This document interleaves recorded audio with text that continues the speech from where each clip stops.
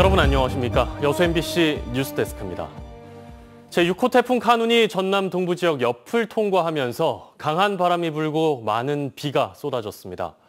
어민들과 해안가 인근 주민들, 지역 산업계도 태풍의 진로를 주시하며 긴장 속에 밤을 보냈는데요.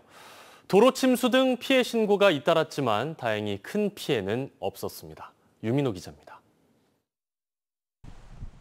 해안을 따라 파도가 밀려오는 여수 만성리 해수욕장입니다. 태풍 카눈이 지나간 뒤에도 여전히 강한 바람이 불고 있습니다. 태풍 때마다 침수를 겪었던 주민들은 이렇게 창문과 출입문을 막아 혹시 모를 피해에 대비했습니다.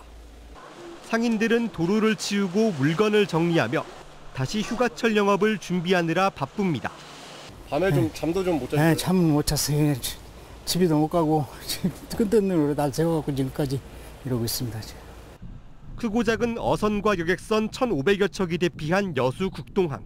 어민들은 밧줄을 정리하고 밤사이 선박 상태에 문제가 생긴 건 아닌지 꼼꼼히 확인합니다. 뭐 태풍 왼쪽 방향이라 바람은 세기는 있어도 큰 뭐 피해 있고 그러지는 없었습니다. 모든 선박에서는.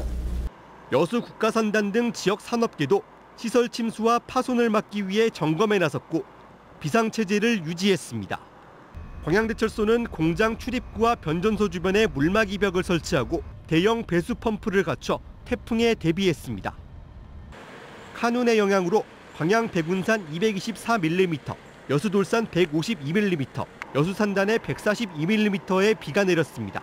바람도 강하게 불며 여수 간여함의 최대 순간 풍속은 지붕을 날릴 수 있는 시속 105km를 기록했습니다.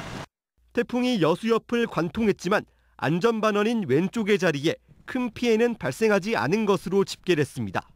전남 동부 지역에서는 도로에 물이 차고 가로수가 넘어지는 등 태풍 피해 신고 20건 가까이 접수됐고 인명 피해로 이어지진 않았습니다.